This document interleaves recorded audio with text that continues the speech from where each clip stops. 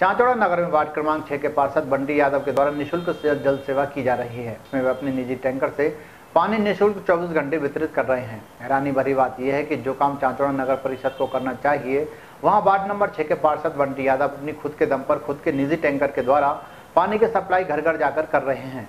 Ward की जनता से इसके वज में कोई भी शुल्क नहीं लिया जा रहा। पार्षद की जनसेवा से चारों ओर सराहना हो रही है।